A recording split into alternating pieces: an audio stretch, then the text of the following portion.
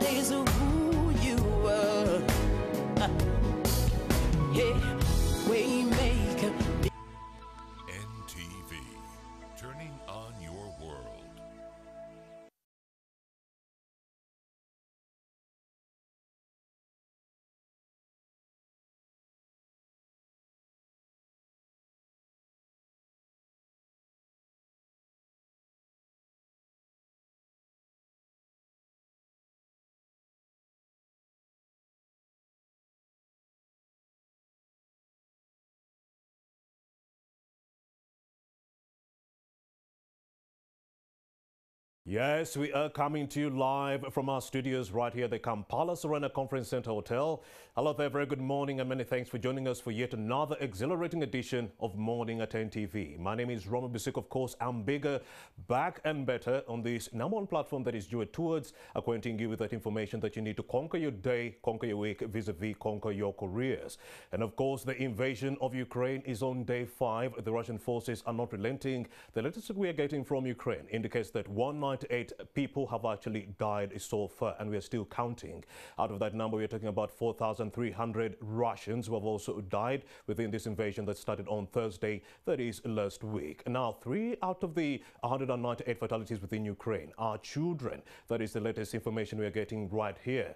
The EU closed its airspace, yes, the, uh, barring Russian warplanes from actually using its airspace, its airspace to invade Ukraine in that regard. We also do know that there are intentions to actually block the SWIFT uh, bank messaging app within uh, Russia in that regard. Sputnik Media Russia Today, that is RT, are no longer being allowed to operate within the European uh, space. That is the latest coming in right here on Morning at NTV. What else do we know? The coronavirus pandemic is not relenting anytime soon. We are talking about 435 million cases of COVID-19 being registered on the whole global stage. Out of that number, 366 million people have recovered, meaning we have some 69 million active cases on the global stage in that regard. The US is taking the biggest chunk of all those cases as usual. 80.5 million cases of COVID-19 have been registered and over 900,000 people have died within the US. Second most bad country has to be, that is India. 42.9 million plus cases have been registered. We also do know that 500,000 people and counting have died within India.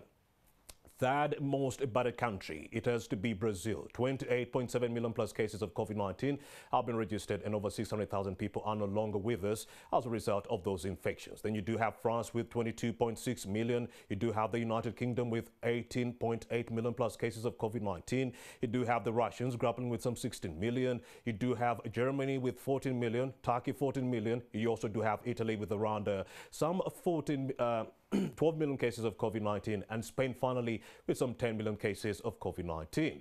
Off to South Africa, the African country grappling the most with COVID-19, 3.6 million plus cases of COVID-19 have been registered. Right here in Uganda, 163,250 cases of COVID-19 have also been registered. 3,588 people are no longer with us since getting infected with this novel heinous coronavirus disease. If you look at the DRC, 85,000 cases have been registered. If you look at Rwanda, some 129,000 cases have been registered. If you look at Tanzania, 33,000 cases have been registered. Somalia, uh, some 29,000 cases have been registered. Egypt, yes, they are grappling. 468,000 cases have been registered. Around 400,000 cases have also been registered within Ethiopia.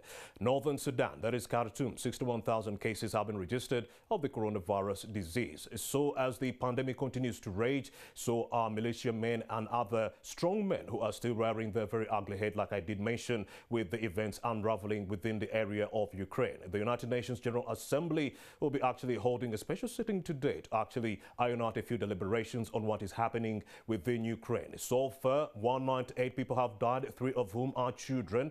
4,300 Russians have also been actually killed within the invasion in Ukraine. They actually tried to take over the second largest city of Kharkiv, that is on Sunday yesterday. But then, thanks to the work of the volunteers and the Ukrainian army that put up a contracted fight, we also do know that they stopped the Russian invaders from entering the second city of Kharkiv. However, the Russians are making gains in the south of Ukraine. We're talking about the areas surrounding Berdyansk and also Kherson. These are areas that are close to the area of Crimea, which was actually annexed by Russia, that is in 2014. As we veer with this uh, morning show, shortly, I'll be acquainting you with more information pertaining what is happening with Ukraine. But as is tradition on this morning show, let's acquaint you with this Fit in 5 segment whereby you get to resuscitate your body's constitution. Good morning and welcome to Morning at NTV. Good morning, viewers. It's a Lee again. We'll be showing you some exercises you can be doing at home. Today is cardio. Um, you can just do this at home, get fit very fast. And you can find me on my social media pages, ALT Lifestyle, on all of them, Instagram, YouTube, Twitter, Facebook, and Snapchat. Okay, we're going to begin off with fast fit. So I just want you to do a bit of a bend, a bit of a squat, and go as fast as you can.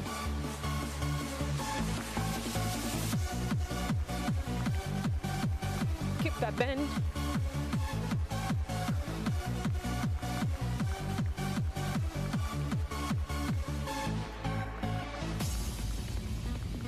Okay, go as fast as you can. Keep breathing in and out as you go very fast. Okay, next we're going to do, we're going to do a skip. So if you have a rope, you can use a rope. If you don't, mimic the jumping rope motion. So just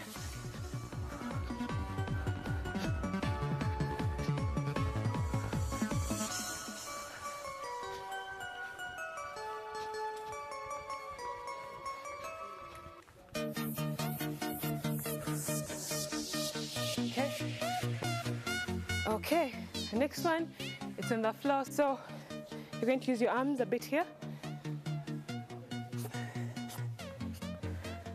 Place your shoulder above your palm.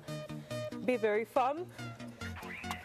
Come in, then go back to a plank.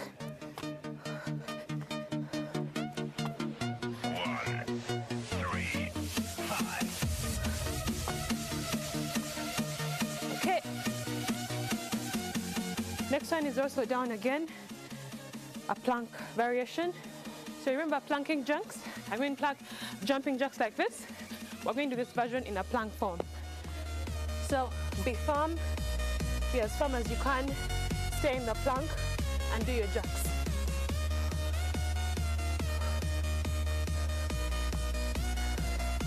You can go from 10 to 40 reps.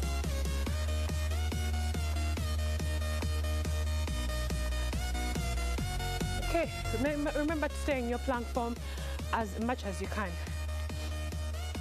Okay, we're doing pivoting uppercuts. In this one, squat as deep as you can and come back. Okay, if your knees are not yet up there, you can just do a shallow squat and then the uppercut.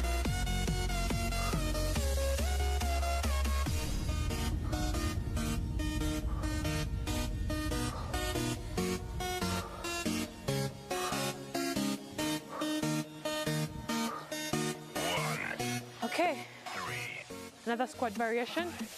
So I want you to squat and do jumping jacks while in a squat. That's basically it. Just squat and do your jacks. Remain in the squat, then come up. Feel your thighs. Get strained, but keep keep going.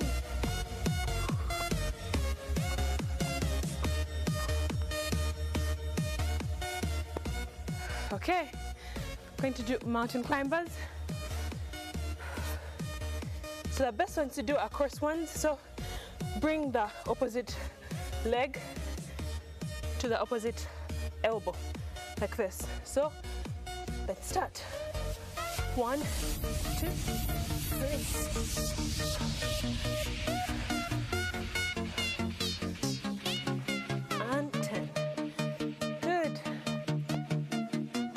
Our last one, we're going to do burpees. These, I encourage you to do even over 50. They are good for your, the entire body. Okay, we start off with a jump. Then go down. Go into a plank. And back. Do you get that? Jump. Go down. And back. So can go as slow or as fast as you want. 65.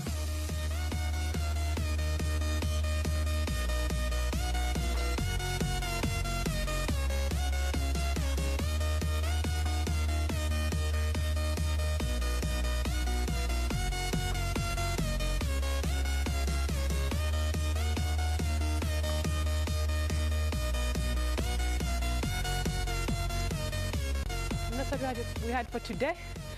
You enjoyed that.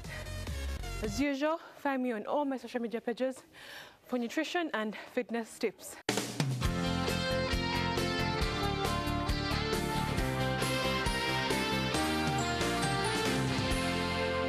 You're watching Morning at NTV.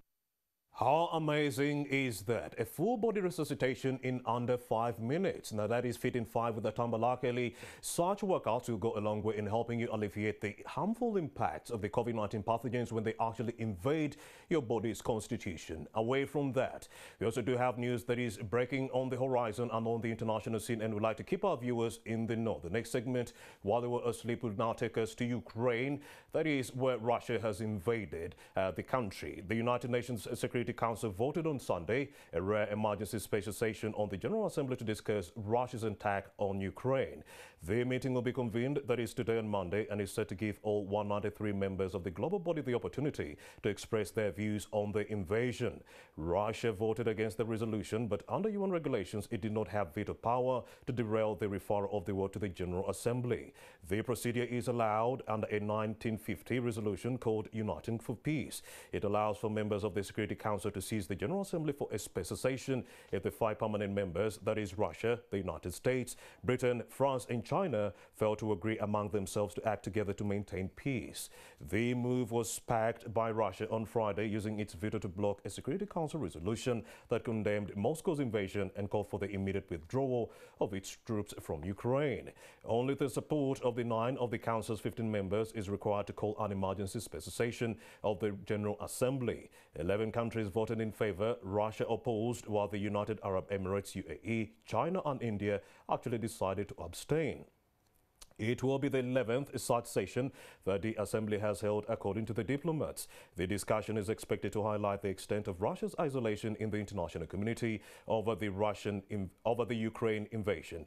Monday's session is scheduled to start at around 10 a.m. in New York, that is around 1500 GMT, and is expected to last at least all day.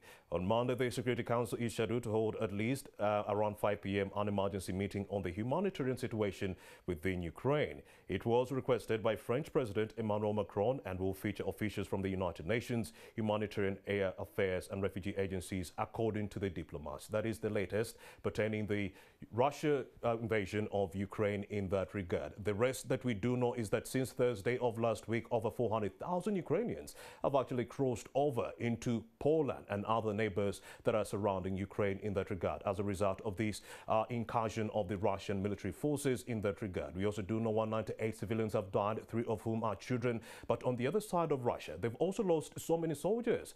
4,300 soldiers on the Russian side have also died in that regard. And according to the European Union, over 7 million people have been displaced within Ukraine. That is since 2014 in that regard. Let's move on to other contestations surrounding this debacle within Ukraine. The European Union, that is on Sunday, vowed to coordinate a welcome for hundreds of thousands of Ukrainians fleeing the Russian invasion, talking notably about offering them temporary protection status. Around 400,000 Ukrainians have crossed into the EU since the start of the offensive that is on Thursday last week, according to an AFP tally. Half of them entered Poland, its government said. A meeting of EU interior ministers raised the possibility of giving Ukrainians status under an as yet unused 2001 temporary protection directive that would allow them to live and work in the EU for up to three years. In quotes, a very big majority of ministers were in favor of rapidly activating that option, said French Interior Minister Gerald Darmanin, whose country holds the rotating EU pre presidency. Under cooperation agreements, Ukrainians with passports bearing biometric data are allowed to enter the EU without a visa and stay for up to three months. What else do we know? But the EU Home Affairs Commissioner, that is Ylva Johansson, said the bloc needed to be ready to host them beyond that duration and that it needed to prepare for potentially millions of arrivals, that is from Ukraine. The directive was originally drawn up for refugees from the conflicts that racked the former Yugoslavia with provisions for handling a massive inflow of people and measures to distribute them across the EU's 27 nations. Belgium was on the forefront of the member states calling for the protection directive to be applied. And at this historical moment, we need to take the right decision. In quotes, taking the right decision means the temporary protection directive being put in place, Belgian Immigration Minister Sammy Mahdi said. For the tool to be used, though, a qualified majority of EU states, 15 of the 27 countries, representing a total of at least 65% of the bloc's population, need to back it.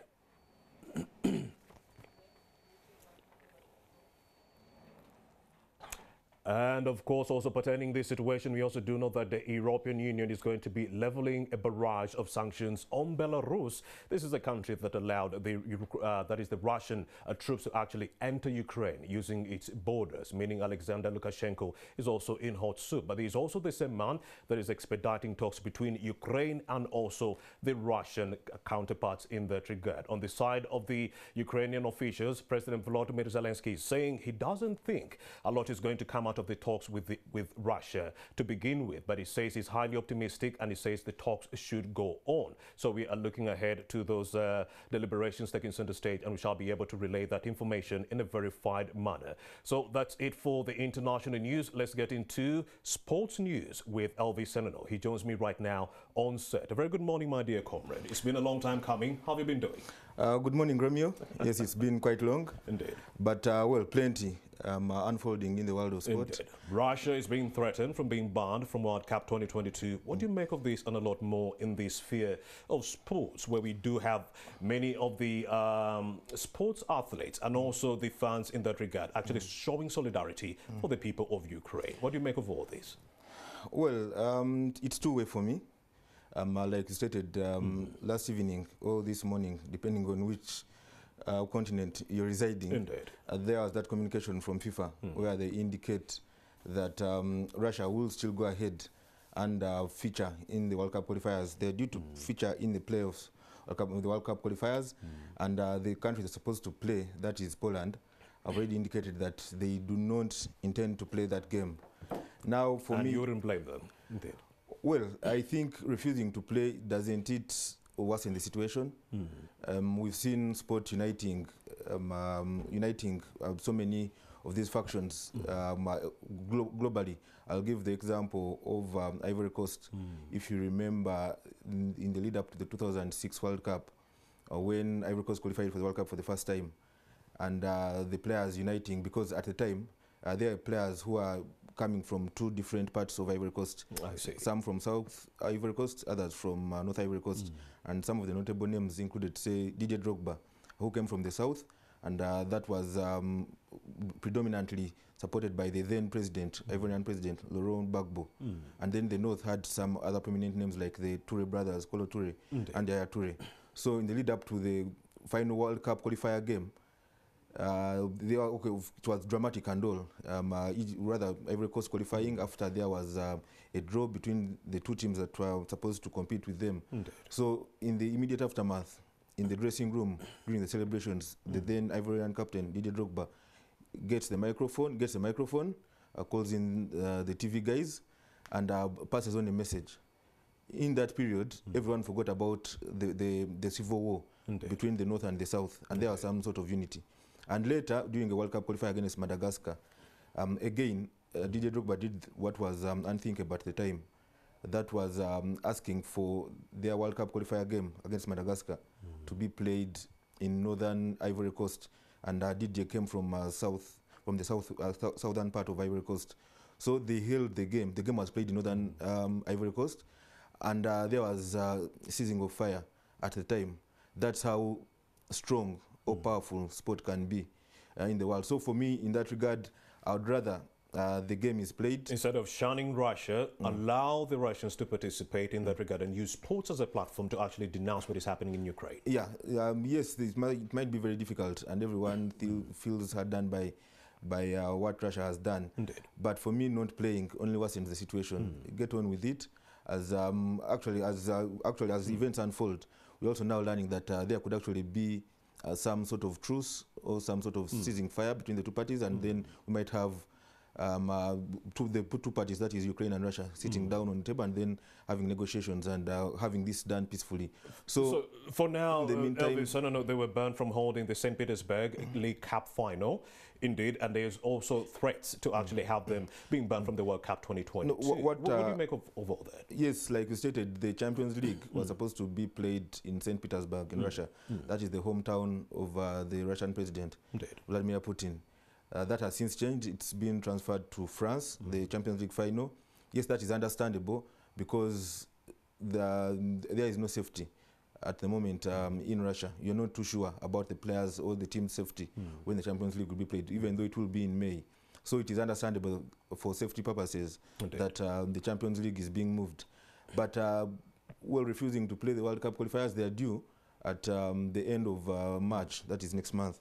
I still want, to, I would want um, the action to go ahead. But like you stated, uh, um, about three countries uh, that are in line to play Russia in the World Cup qualifiers already indicating that uh, they are not comfortable uh, playing against the Russians.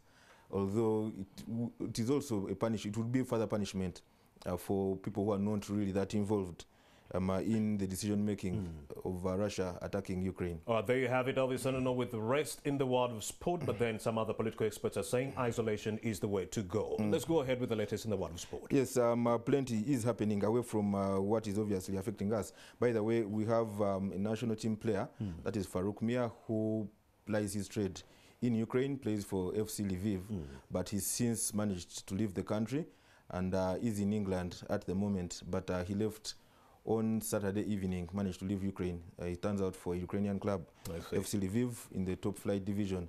So that uh, some of the news that uh, might be associated with Ugandans uh, living in uh, Russia Indeed. and um, Ukraine. But away from that, uh, quickly switching attention to the badminton, uh, that is domestically, before I head to the international news. Yesterday, the Uganda International Badminton Open concluded at uh, the Lugogo Indoor Stadium, and Uganda managed to scoop at least two bronze medals. Uh, that was uh, in the ladies' doubles, Fadila Shamika, uh, as well as uh, Tracy Naluwooza in the ladies' doubles, losing in the semi-final, but uh, they were granted a bronze medal. Also, Israel Wangalwa and uh, Gladys Mbabazi were also eliminated at uh, the semi-final stage of uh, the Uganda International Open. The tournament follows up on the African Senior Badminton Championship that was also held at Lugogo. That was last week. And uh, Uganda again managed to get a number of medals. Uh, Brian Kasirye in the main singles uh, got a bronze medal, as well as Husna Kobugabe and Fadila Shamika also got bronze medals. That was in the Africa Badminton Championship that uh, was held at Lugogo. And uh, those three, that is Kasirye, Husna Kobugabe, and Fadila Shamika, have been nominated by the Real Star Sports Awards for the best player of the month in um, the game of badminton. And uh, there are also several other nominations in the other sporting disciplines, including um, the duo of uh, Innocent Gokto and Joaquim Chissano, uh, curiously named after the former Mozambican president. Uh, these two turn out for Heathens, uh, who are the leaders currently in the Nile Special Rugby Premiership. The two have been nominated alongside uh, Nelson Mandela of Rams uh, for the best rugby player of the month. That is um, from the nominations of the Real Star Sports Awards. In athletics, Jacob Kiplimo, Halima Nakaayi, and Mercyline Chelangat are the three nominees from the athletics world, while Najib Yiga, Nafiana Lionzi, and Yunus Sentamu were nominated uh, on the football side uh, for the Real Star Sports Awards for the monthly accolade um, of February. Uh, their exploits, especially Najib Yiga, has played um, a very good part for Vipers. Uh, he also actually scored over the weekend in the Stanbic Uganda Cup as um, Vipers progressed uh, to the round of 16 and so he's also got a couple of goals in the league so you think he will be in the running there for the footballer of the month in the Real Star uh, Real Star Sports Awards uh, that uh, will be held uh, later today. Quickly switching attention uh, to the international news, I'll start with that uh, EFL Cup final or the Carabao Cup final played yesterday. An eventful goalless draw played out between Chelsea and Liverpool over 120 minutes. Eventually, that game being decided on penalties or through a penalty shootout, and Liverpool were crowned EFL champions after winning 11-10. Chelsea making um, a late decision uh, to bring on the goalkeeper Kepa Arrizabalaga. He'd kept goal for Chelsea in all the previous rounds of the competition, that is uh, in the EFL Cup. But uh, the Chelsea manager Thomas Tuchel surprisingly dropping him uh, for Edouard Mendy, uh, the Senegalese goalkeeper, and at uh, the stroke of uh, at the end of extra time. Uh, eventually, Chelsea deciding that uh, Kepa Arrizabalaga, uh, who'd saved um, penalties earlier this season, uh, was a better option as they went into the shootout. And uh, unfortunately for Chelsea and uh, Kepa Arrizabalaga, he was the only player to miss in that shootout as uh, Liverpool won 11-10. Uh, so that is a decision that you could say backfired on the part of um, uh, Thomas Tuchel and uh, Kepa to hand Liverpool what could be the first of four trophies uh, this season. It's a bit far-fetched at the moment. Uh, they are still in the uh, FA Cup. Uh, they've now won the EFL Cup, and they are also they also have one leg into the quarterfinals of um, the UEFA Champions League. This is after they recorded a 2-0 victory earlier this month, um, a 2-0 victory over Inter Milan, and uh, as well are also still in the running for the Premier League title. They are currently six points behind Manchester City, uh, but yesterday they won the first of the four trophies in which they are still in contention. That is the EFL Cup, uh, the first EFL Cup title that uh, they are winning under their, their manager. That is um, Jurgen Klopp. He lost the 2016 final a few months after he'd been appointed as the Liverpool coach. Lost the 2016 final also on penalties to Manchester City, and since then he'd not won a domestic cup title. This is his first EFL Cup title in charge of Liverpool. They've obviously already won the Champions League and the Premier League under his reign. But away from uh, the EFL Cup, um, uh, into some Premier League news, uh, West Ham recorded a 1-0 victory over Wolverhampton Wanderers in the lone Premier League game played yesterday with uh, Thomas Soucek, uh, the, the Czech Republic international, scoring the game's only goal after picking a pass from Michael Antonio. The result means that uh, West Ham move up to fifth on the table, above Arsenal on goal difference, and two points behind Manchester United, who are fourth after United played out a goalless draw. Uh, that was um, over the weekend against Watford. But consecutive draws had seen David Moyes say that is West Ham, um, uh, well, lose ground in the battle for the top four uh, slot. Uh, with uh, Tottenham Hotspurs, Arsenal, Manchester United, and as well as Wolves, all still in contention for that fourth and uh, chi- final Champions League spot uh, that is in England. Elsewhere, uh, keeping it international, Barcelona maintained their pursuit of uh, Champions League football next season with uh, a 4-0 thrashing over Athletic Bilbao yesterday um, and, and the former Arsenal striker, that is uh, Pierre-Emerick Aubameyang, scoring for the third successive game. There was also a goal uh, for the out-of-favour um, Osman Musa Dembele, as well as um, another strike uh, later in the game. But Barcelona running out 4 0 victors over Athletic Bilbao. Real Sociedad also defeated Osasuna by a goal to nil, while the Sevilla derby ending in a 2 1 draw, a 2 1 win uh, for Real Betis. This was a clash between the third, the second and third place teams, and uh, Sevilla now increasing the gap between them and uh, Real Betis, their rivals, uh, to eight points, but they still trail Real Madrid, the leaders who are also victorious over the weekend. Lots of sporting action, but I'll return later in the day uh, to dissect all the action that happened throughout the weekend, as well as look ahead to what should be another exciting week in the world of sport. But that's pretty much the sport for this hour.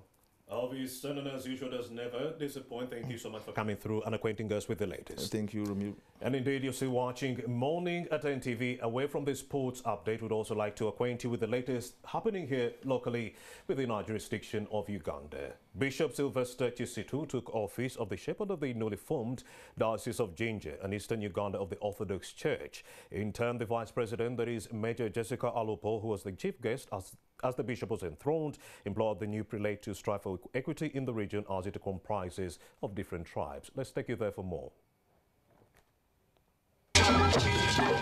Orthodox Christians in Jinja have welcomed the consecration of Bishop Sylvester Chisitu, who today took over the newly formed Diocese of Jinja and Eastern Uganda at the Holy Resurrection Cathedral in Jinja City. The ceremonies were presided over by newly installed Metropolitan of Ugandan Orthodox Church, Hieronymus Muzeeyi. It was also his first time as Metropolitan in his home region, and Busoga Kingdom was represented by their Premier Dr. Joseph Muvawala and various kingdom officials. For excellence in this place, for you to get a title, every step has a monetary value. every step has a monetary value. I don't know whether which team has been in Archbishop Hieronymus Muzeeyi urged the new bishop to strive for unity and fight poverty in the region through his teachings. We have the mission to spread the orthodoxy in Uganda and in the process to transform the peoples of Uganda. In the mind of the Holy Synod that elected you, Your Grace, you are supposed to use Jinja as a base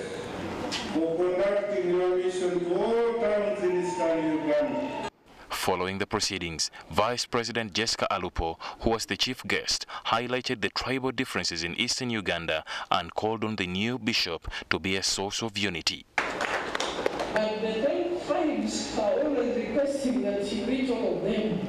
They compete for your attention. And I am happy that you are very energetic.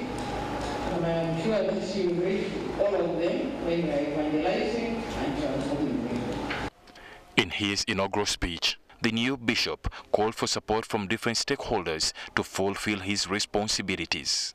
He also prayed for the Ukrainian nationals who were suffering after the Russian invasion. Brethren, as I am being enthroned today here, my heart cries for the ongoing war between our brothers and sisters, God's people of Ukraine and Russia. As the church, we to lift up our hearts, our hands, and pray that God accept and help them to accept and adopt peaceful dialogues to find solutions for the conflicts between them. To crown the ceremonies, government awarded Bishop Sylvester Chisitu a new Mitsubishi sport car.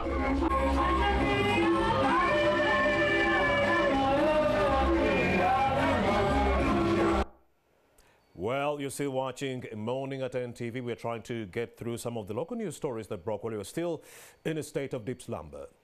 now, the reopening of the border with Rwanda has opened opportunities for Uganda's grain subsector and exports in general, given the country's position as a major regional supplier. According to analysts, the border point acts as an entry into a wider market space that transcends, that is the country of Rwanda. However, the move opens the way for concerns about enhancing post-harvest produce. We have more in this report.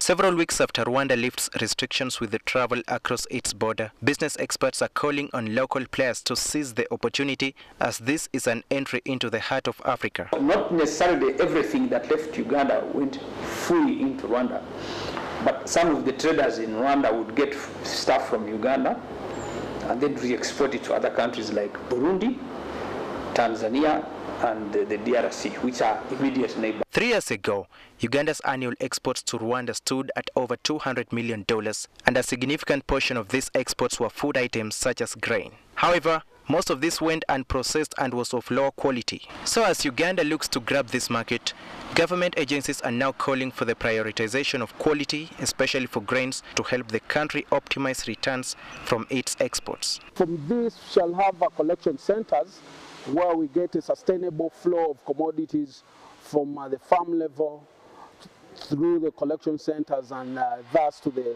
licensed warehouses that will guarantee uh, good quality products to our destined markets like Rwanda, Burundi, Southern Sudan and uh, the likes of Kenya. The warehouse receipt system allows farmers to deposit their produce in gazetted certified warehouses from where it can be traded after meeting set quality standards. Already, Effort has been invested in getting private warehouse operators to meet both external and internal market quality standards through the system. As Aponye, point, we have been able to get quality of the maize that goes well into our, our market and we've been able to be appreciated by the World Food Program, where is our mini market. The system, according to experts, will be critical in helping the country get well-negotiated grain supply contracts with neighboring countries. We can even start getting formal contracts for those uh, farmers or traders that have been uh, involved in uh, informal trading by securing uh, contracts that can be sustainable and uh, to enable them uh, supply consistently and uh, sustainably benefiting. So as the Katuna border reopens for trade, there is growing interest in how best Uganda can tap into this opportunity this time, focusing on quality as opposed to volumes. Well, that is the latest coming in on the local scene. Before we actually go for a break, let's acquaint you with the latest coming in from Russia. Updates on the Ukraine, in, in, Ukraine invasion within that country. We do know that as of now, it is not a truce being called by Russia, but they are actually grappling with some logistical issues within Ukraine as they try to actually uh, embark on a siege of all the cities within this country. It's not a, a truce at all its logistical problems. That is according to Germany, and also some fuel concerns on the Russian counterparts on their part as they try to make their way into Ukraine. We also do know that out of the 150,000 troops massed on the border with Ukraine, almost one third, that is one out of three of those troops are already into Ukraine. But uh, the other one is still actually on the border, waiting for a signal from Russian President Vladimir Putin to actually enter within the city. They were repelled as they tried to take over the second largest city of Ukraine, that is Kharkiv. Yes, that is between Saturday and Sunday night. They were repelled. They also tried to take over Kiev, the capital. Small pockets of uh, Russian invaders actually were able to enter. There were gunfights registered, but they did not take over the capital, Kiev. It's still pretty much under President Volodymyr Zelensky, but he says anytime from now, if the Western forces do not come together, it could fall at the hands of the Russian invading forces. 4,300 Russians have died, and over 198 civilians and troops within Ukraine have also died. I do have Rashmi Pillai. She is the executive director for the financial sector deepening Uganda. She's going to be talking to us shortly after this break. We'll be right back.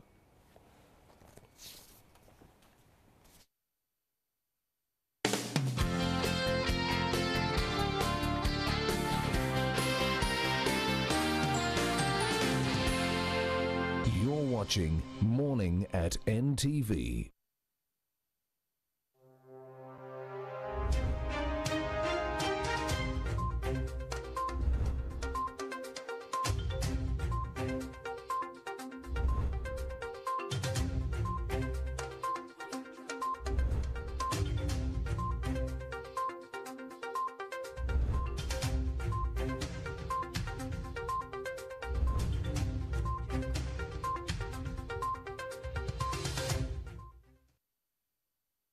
On the next episode is brought to you by Crystal Mineral Water is a sanctuary of refreshment. On the next episode, Oh, God.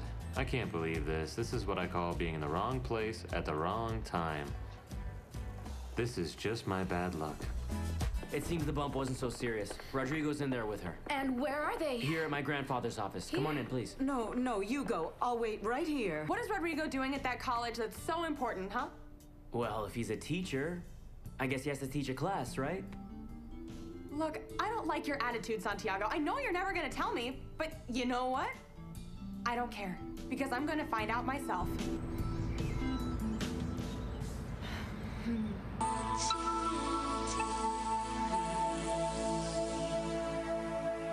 Crystal Mineral Water is a sanctuary of refreshment. The quality of each crystal bottle is stringently verified.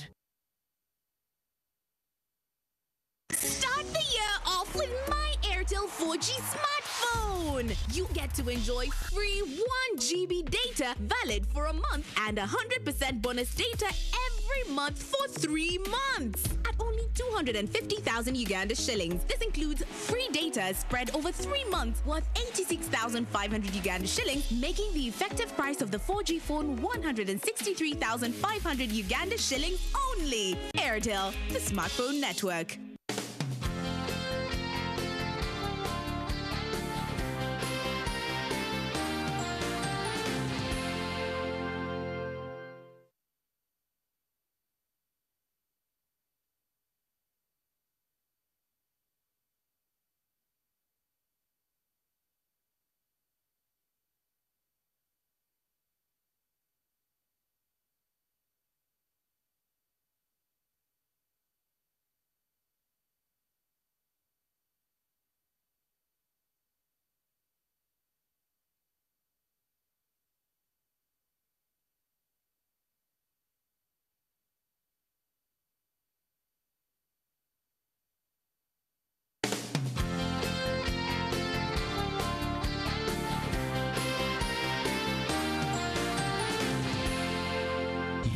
Watching Morning at NTV.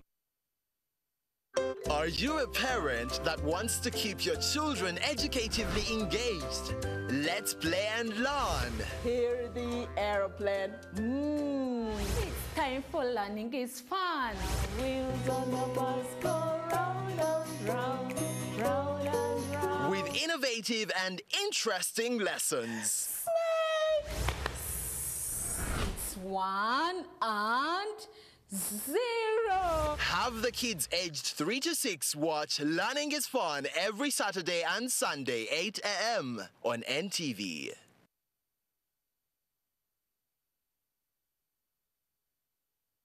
On the next episode is brought to you by Crystal Mineral Water is a sanctuary of refreshment. On the next episode, Oh, God. I can't believe this. This is what I call being in the wrong place at the wrong time. This is just my bad luck. It seems the bump wasn't so serious. Rodrigo's in there with her. And where are they? Here at my grandfather's office. Come on in, please. No, no, you go. I'll wait right here. What is Rodrigo doing at that college that's so important, huh? Well, if he's a teacher, I guess he has to teach a class, right? Look, I don't like your attitude, Santiago. I know you're never gonna tell me, but you know what? I don't care, because I'm gonna find out myself.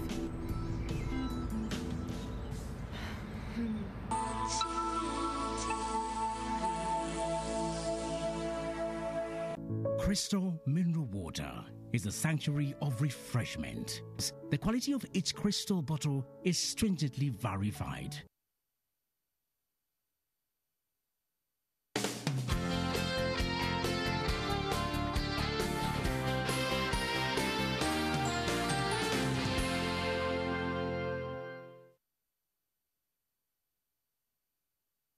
Yes, a very good morning once again, and thank you for joining us right here on Morning at NTV. I'm Romeo Bisiku.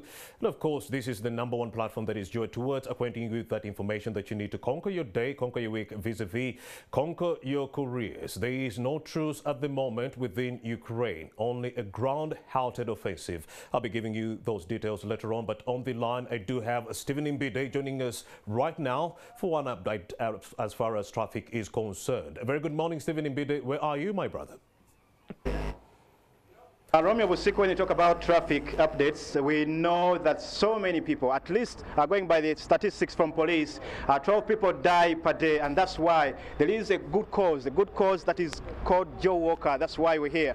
At the headquarters of Monitor Publications Limited, and we're here in Namuwongo just to see the flag off of uh, a journey that's going to be taking 320 kilometers from Kampala to Bushenyi and this is why uh, Joseph Beyanga here is leading this big team. There are many others here, others are still waiting outside and others are still on the way just to say that yes, we need to pay attention uh, to the issues that are on the road. If you're a pedestrian, if you're a driver, if you just someone there on the road, just need to know that issues of road safety are key to everyone and that is why we have these powerful people. I can see the much at top here, uh, Ethan Musolini, uh, people from Tugende. Uh, there is the mother for jo of Be Joseph Beyanga. Joseph Beyanga is here, and together with. Uh, are you guys ready? Are you ready? Yeah, we are All right. ready. I can even see the.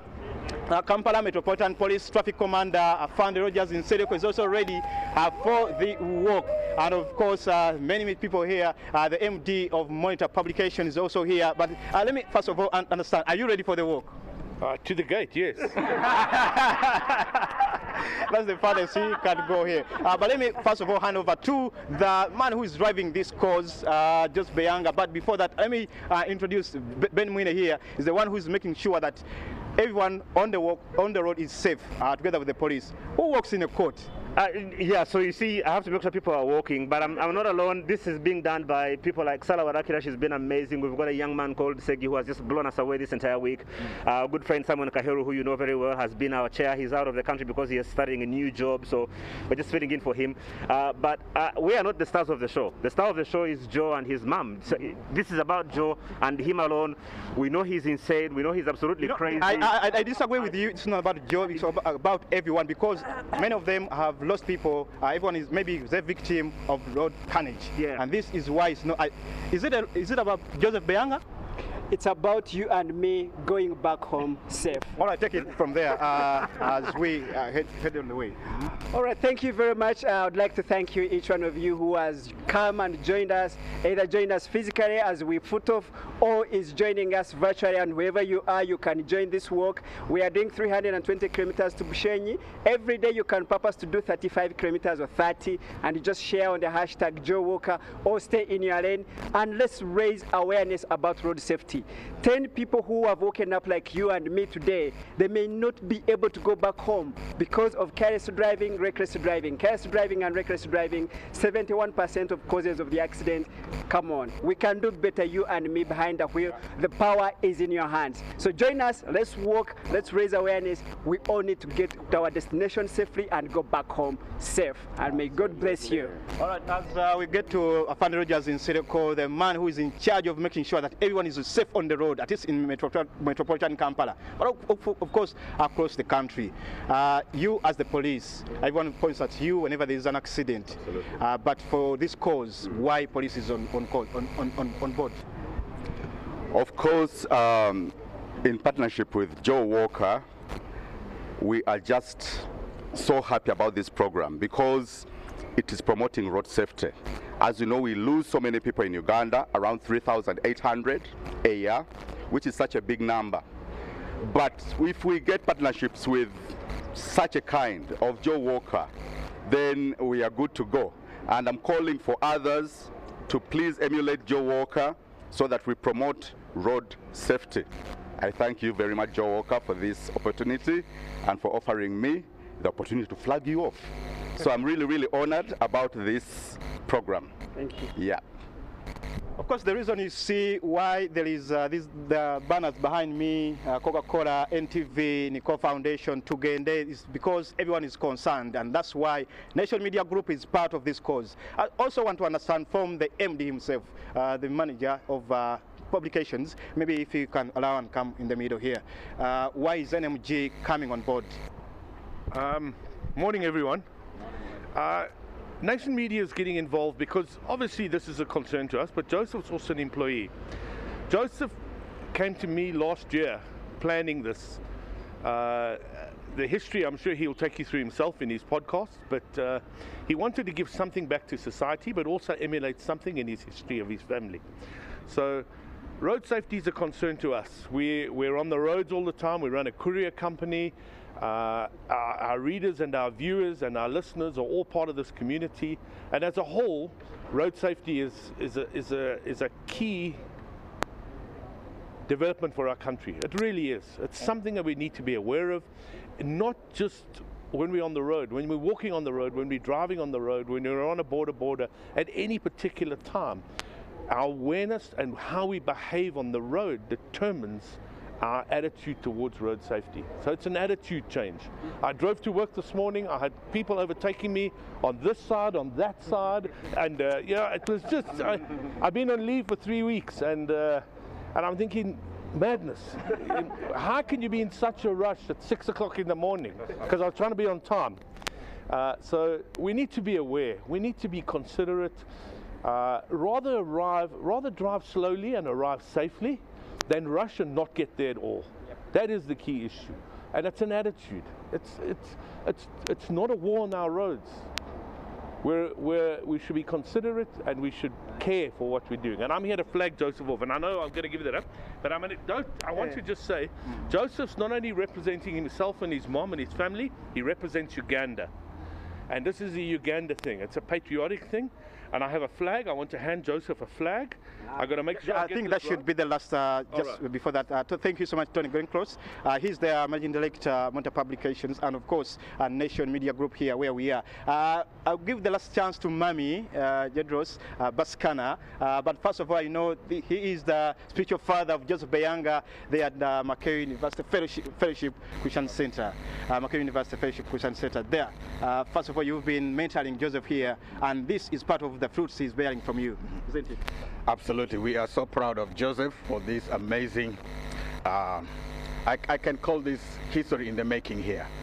And I want to appreciate his tenacity in doing this, and we are going to support him. I'm going to, as God allows, follow him throughout. And but, but this is a big cause, and I would want to call upon all Ugandans to really stay in your lane. You stay in your lane, everybody's going to be safe. So, Jose, thank you for rallying us into this thing. Thank, thank you, you, Pastor Micah from Makere uh, University Fellowship Church. Uh, Merchant of Hope, uh, Ethan Mussolini is here. Are you walking up to Vishenyi? Well, uh, for today, I'll walk the full day and then I'm planning to join in some of the days because I, my schedule does not allow all the 10 days. Just so you know, I've known Jose since 1994. So we've been best of friends. Uh, we've been each other's best man. So I'm here to rally him on. But like uh, he said, like the MD said, this is a cause for the whole nation. So we pray for safety and let's all join the, it's not a Joe Walker campaign. It's all, it's actually a national campaign. Let's be safe. Which tips are you giving him as he walks?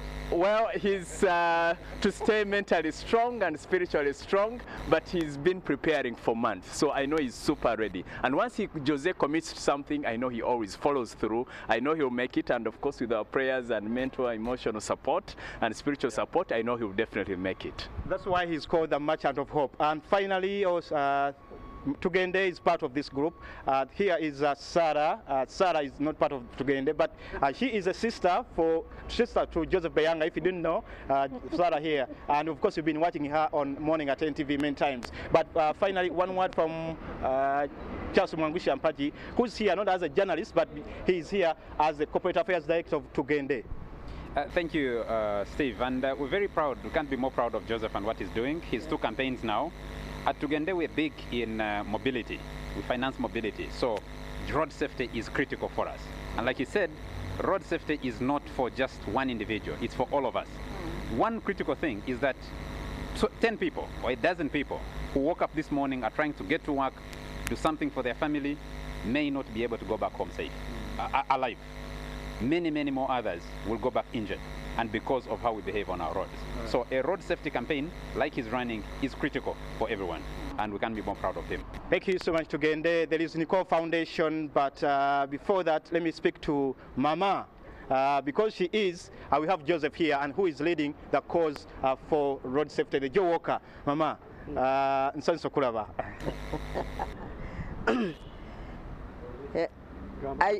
nyo nashemere gukorangwegesha aha. Ndiyaha ndiyaha kutambara kwa josefu.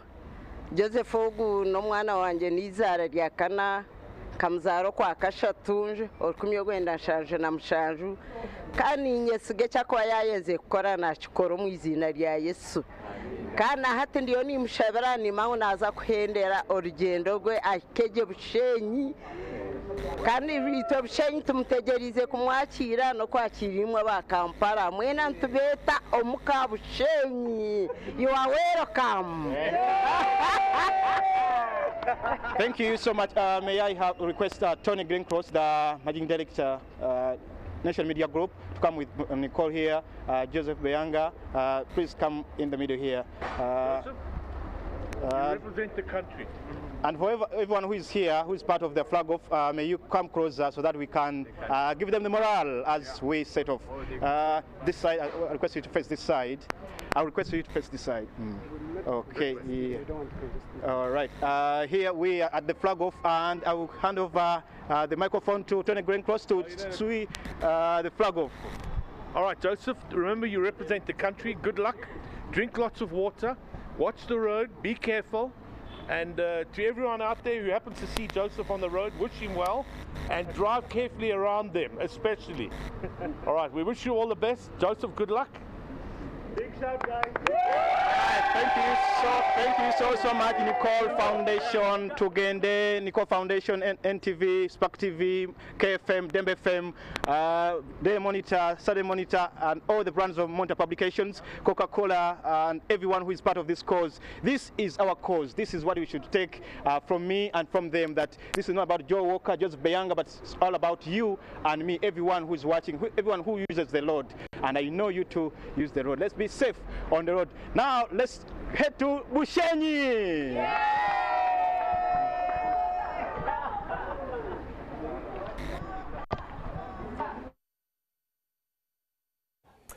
Very energetic, and I love that so much. Many thanks to the whole NMG team that braced the launch of that event all the way from Namuwongo into Bushenyi, the pedestrian walk to highlight the road fatality that has claimed so many of our citizens all over the world. 2021 alone, 1.1 million people died on the road, including pedestrians. This year alone, since January of 2022, over 215,000 people have suffered died as a result of these road carnage accidents in that regard. So please exercise caution as you drive on the road and also as a pedestrian. You need to be looking left, right, and also right again as actually cross that road so that you do not get knocked down in a jiffy in that regard. All right, we have the ED of uh, uh, financial sector deepening Uganda. That is Rashmi Pillai. She joins me right now to talk about uh, the plight of the SMEs, the small medium enterprises in that regard, and how recovery funds are helping them alleviate the situations they find themselves knee deep in mire. A very good morning, Rashmi Pillai.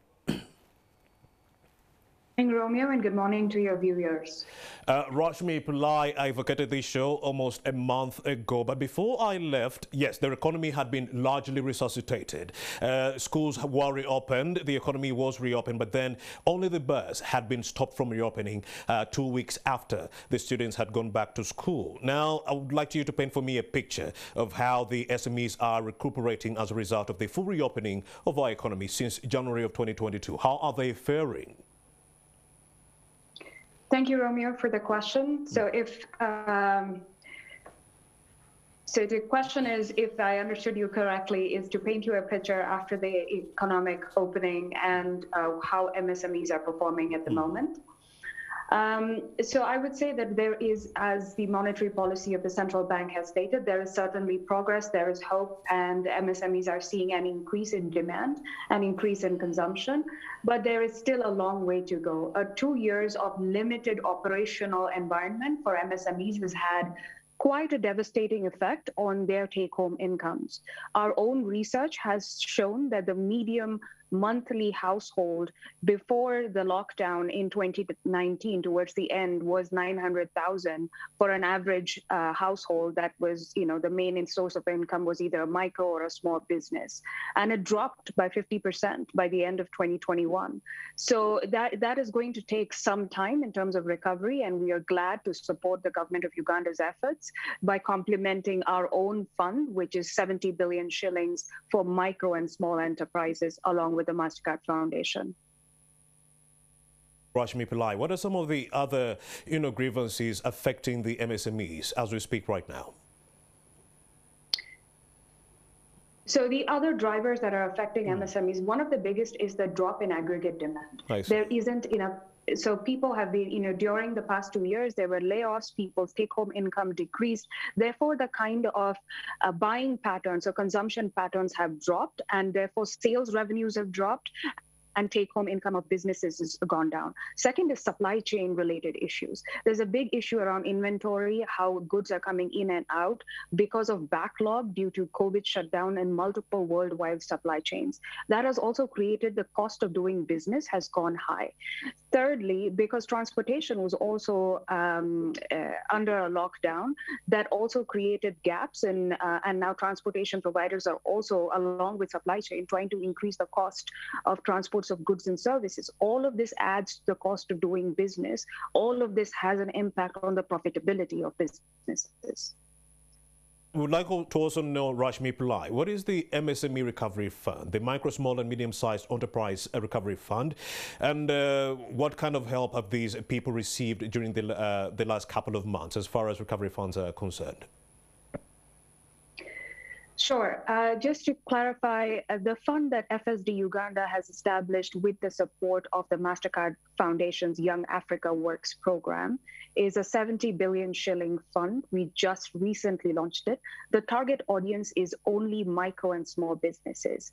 We are not trying to uh, duplicate what the government of Uganda is already doing with their small business recovery fund. So their fund targets typically slightly more mature, slightly uh, bigger ticket sizes of loans, whereas the businesses that we're targeting need loans as low as 100,000 shillings to a maximum of 10 million shillings. So these are really small enterprises. And the way they can access these extremely subsidized loans is through microfinance institutions. So we are working with deposit taking microfinance institutions or non deposit taking microfinance institutions and SACCOs course, when it comes to accessing finances, they've been grappling with so, so many issues, like the criteria to be followed uh, for one to access this money. What is being done to alleviate such challenges? That's that's a great question. So we are working. That's particular. Actually, that's one of the reasons that we are working with microfinance institutions. Mm. So microfinance institutions, SACCOs. So let's take SACCOs. SACCOs are membership-driven organizations. So they they either are driven by the economic. They are formed by the economic activity, whether that's agriculture or agro processing. So they know their members, and they they will be able to disburse loans because it's a membership-driven organization. They don't require you to be formally. They they already know what business you're in. Then you let's take non-deposit taking microfinance institutions. They're in the business of lending to small businesses and micro businesses for a long time. They know how to act. Uh, they know what other kinds of mitigation mechanisms they can have in place in order to make sure that businesses return the capital that has been extended to them. For example, some the way microfinance works is that typically they ask for a cash collateral, like you put a small deposit down and you get the total extent of the loan that you need. So it's not necessarily a hard collateral or a formal uh, certificate, you know, license registration that's always required. And Rashmi Pillai, we've seen several funds, yes, being uh, recovery funds being initiated in the last two years. Um, what makes the MSE recovery funds so different? Yeah, again, another great question, Romeo. So for us, what we realized is based on FSD Uganda is an evidence-based organization. We work with the central bank, the Ministry of Finance, to produce data that is meaningful, and then create initiatives that can, you know, that's based on information that we have gathered from the market. So what we realized is that a lot of the funds that are being established will and should, rightfully so, will go to a lot of the medium-sized or maybe even some of the larger small businesses. But we, our data has showed that there's about a 1.8 million um, owner operator one person or two people enterprises that will not recover until 2023 or after if there's not something specific done for them. And our uh, uh, you know micro and small enterprise fund the way it is being designed is for these extremely small businesses. It is for these it is for to ensure that 50,000 micro and small enterprise MSMEs at the end of the five-year facility will be able to recover. It is to ensure that 100,000 jobs that are at risk will recover and will add 150,000 new jobs through wages or salaries. So our focus is very specific. Rashmi Pillai, when this economy was reopened in January, we had anticipated that mainly most of the businesses within this country would come back and start operating. But uh, that is largely not what we've seen on the ground. Many of the businesses have not opened up for operations. What are some of the factors behind that and what are you doing to alleviate those challenges? Uh, so I think that it is going to take time. Um, it is well understood that once the economy was opened in January, we're, we're just in the third month, like going to be in the third month of the year. It is going to take time because the devastating effects of two years of not having enough cash flows, not having enough revenues, and being struggling with supply chain, cost of businesses going high, it is going to take a long time to recover. Many businesses that took loans before or after during COVID will have to restructure and are already restructuring their loans. After after that, there needs to be an increase in consumer demand. We've also seen that some of the businesses shut down and are now starting new businesses. They have pivoted because isn't enough revenue that is coming in. It will take that recovery journey and that trajectory is going to take time. Uh, that being said, I do think we are on the right path. The government's efforts, as well as the efforts of the private sector, are going to stimulate the economy.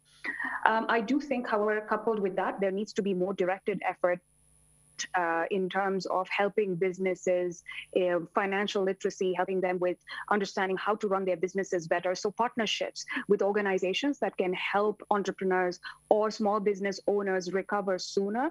And that can be done even by financial institutions that are extending loans to them. They can also help them manage their businesses better, will add significantly in their recovery. Besides the issue of finances, we also do know that many of these businesses did not have the skill mindset to actually um, operate their businesses in that regard, meaning they did not have the skills, but they did have the finances. When the economy did reopen, many of whom could not actually come back into the fold because of the same. Others could have access to credit, but not access to the skills that they need to actually ensure that their businesses are a success. As financial sector deepening Uganda, are you also actually ensuring that you traverse this sphere, acquainting them with the skills and the knowledge that they need besides just injecting cash into their projects? Rashmi. Great. Um, that's a very important question, Romeo. So, uh, financial sector deepening Uganda's mandate is on greater access to finance, whether that's payment, savings, credit, insurance, or long term pensions for the most marginalized and vulnerable in the community are skill building important? Absolutely. It needs to be coupled with access to finance. Finance, in of itself, is not a solution to uh, helping businesses or even people get out of poverty. Um, but is that our mandate? I would say not exactly. We typically do that by partnering with other organizations in the country that have the competencies and come with experience of skill building. So we do that through partnerships because our expertise and area is on finance. So yes, absolutely necessary, and we will do it through partnerships. Uh, let's talk about paying back Rashmi Pillai because you are targeting a big number of projects. So businesses, 50,000 people or businesses are being targeted by your venture. Um, plans to pay back, break them down for us. Sorry, Romy, you'll have to repeat that question. I'm not sure I got you. The number of projected businesses are 50,000 that you're going to be helping with this money, the 70 billion Uganda shillings. Are there any plans to pay back? Rashmi. Sorry. So yes, I did get the question on 50,000 businesses being our target, but I'm uh, I'm not able to get the later part of the question. Maybe it's technology. Sorry, Romeo. Rashmi Pillai, you are targeting 50,000 businesses with this project. Those are the Uh-huh. beneficiaries. Are there any plans to pay back? What are the steps to be followed? Oh, so uh, so the question is, how are they expected to pay back, right? So the way the fund is structured is that we will give loans to microfinance institutions and to deposits. So we are giving it to participating financial institutions, and these financial institutions, and we're choosing financial institutions that have experience working with micro and small enterprises. So that's actually a big selection criteria, and they will then on lend it to the business businesses that they work with uh, because they're in the business of giving money out. So we're working through them. And the risk of returning the entire capital back to the fund is on the financial institution. And we're giving the money at very subsidized rates to these financial institutions to actively nudge them to lower interest rates to help these businesses get cheaper access to capital, therefore being helping them pay back. We have SMEs that are adamant to get back into the fold simply because they are not sure the economy might largely still remain open. Many people think, well, I might come out two weeks later and the government says there's another lockdown. What kind of advice do you have to such skeptical business people? Uh, to be frank, Romeo, I doubt if we'd survive another lockdown. It is going to be very devastating for this economy if we go into another lockdown. And that's the truth of the matter. I do think that companies that were able to be agile and were able to adopt um, digital means of reaching their customers. So you need the ability to reach your customers. So you should, uh, they should be able to buy products and goods online. Then you need to be integrated to payment services like mobile money, banks, etc. So your customers can pay for you and then be able to deliver that goods. So that entire operating model needs to be figured out by businesses. Some of them have been able to, a lot of them still struggled, especially if they're informal businesses. And what happened during the pandemic is a lot of the fin these small businesses, micro businesses on their platforms because they realized that that was a real need. We will see more of that happening. That clearly has been a big economic shift in multiple countries, including Uganda, and that is only going to grow. Um, but that again will take time. So if we go into another lockdown, um, it is going to take a lot more to help these businesses recover. Rashmi Pillai, in the wake of the continued raging COVID-19 pandemic, you also do have wars skyrocketing on various peninsulas or within the world. You understand what I'm saying? Ukraine, Russia, you do have governments within Africa that are seeing mutinies and so forth. Political climate is actually increasingly becoming so hot within various jurisdictions, uh, coupled with COVID-19. As a business person, what would I, what should I have in mind as I embark on resuscitating my business operations during this COVID-19 pandemic moving forward? What should I have in my mind, at the back of my mind? Rashmi. Great. Um, so, Romeo, I think you, you've and NTV has already covered this. So, the crisis is going to, you know, we should be very cognizant of the cost of fuel prices, and we, we are seeing that happening world over because there are multiple reasons it's um, uh, for that. But the crisis, the Ukraine crisis, is going to that is something you should be careful about. And when fuel prices increases, it then just increases the cost of transportation of goods, supply. That has a direct impact on the cost of operations and the cost of doing business in any country.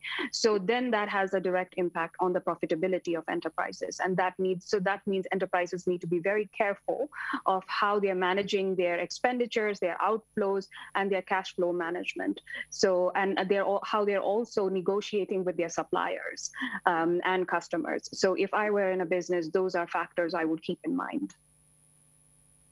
Rashmi Pillai, are you afraid that moving forward we could be seeing the dissolution of SMEs within this country? They make up 90% of the labor force within this country, but with the meager funding that we are seeing coming in from the government, stimulus packages um, dwindling as they are from the government to the SMEs, are you afraid that moving forward we might see the decimation?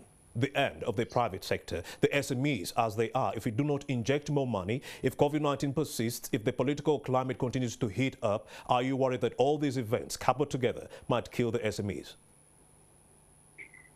Uh, So Romeo, just to clarify the question, was the question that is there a real threat to the um, uh, to SMEs actually dying out, which employ the largest number of people? Is, In- is that the question? Indeed, Rashmi, in the wake of COVID 19, in the wake of mega funding and recovery funds from the government and so forth, what do you make of that? Climate change. Hmm. So, um, first and foremost, what the Uganda Bureau of Statistics uh, panel surveys have shown is there has been a significant increase in poverty in the past two years, in the past couple of years, actually. And that has a big impact on financial inclusion. If people don't have money in their pockets, they're not going to save. It's very hard for them to access credit. And that does mean that that will then result in greater and greater unemployment. And if you're more unemployed, you don't have enough money for even education. So that has a generational impact. So if there we therefore it is very important that these stimulus packages, whether that's, uh, and I shouldn't probably, it's not just stimulus, actually these funds, the Small Business Recovery Fund, the Parish Development Model that the government of Uganda has launched, and our own fund, and our own fund, like the private sector initiatives like ours, target the right enterprises. So targeting is actually a very big issue and it's not an easy challenge. So we will be working collectively with the government and other private sector actors to make sure we are targeting the right businesses, we're helping and giving them the support that they need. Um, but it, the truth of the matter is there will be some businesses that will die and they will resuscitate. What needs to then happen is that when they come back with different ideas, when they come back with new ways of doing business, are there support mechanisms for them? Are there skill building opportunities for them? And that's where uh, support from the entire private sector and development community comes together. Bilal, you did mention the Parish Development model, model, the 490 billion shilling PDM. Do you think it is the magic bullet that we need to actually arrest this situation as far as the SMEs are concerned? At the parish level, you talked about targeting the vulnerable people at the grassroots. Do you think the PDM is the magic bullet that will go a long way in alleviating the challenges of the SME, 75% of whom are in agriculture? Absolutely. I do think the parish development model was really well thought through, well designed. And it is, you know, year on year, the way the government is looking at it, it is looking at increased.